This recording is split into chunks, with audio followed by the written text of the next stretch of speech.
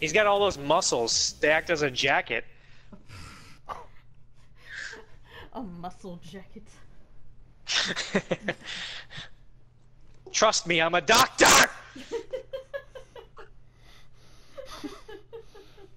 Well, being you put it like that. Is that what you do when your patients? Like, When the Oh, yeah. patient's like, but, but what about this? As soon as I go into a room, I yell immediately, without any context. Trust me, I'm a doctor! Hey guys, I'm about to go to Walmart. To Walmart. Yeah. It's okay, Ted. I'm a doctor! What the fuck? Ted, why are you going to Walmart? I gotta get food for the weekend because I'm gonna be Why home did you alone. come in here just to tell us you're going to Walmart? Ted, when you go to the store to get food for the weekend, buy an entire cake. Uh, you know, I hope when I go there, I hope the food's edible, unlike some other things I buy from other stores.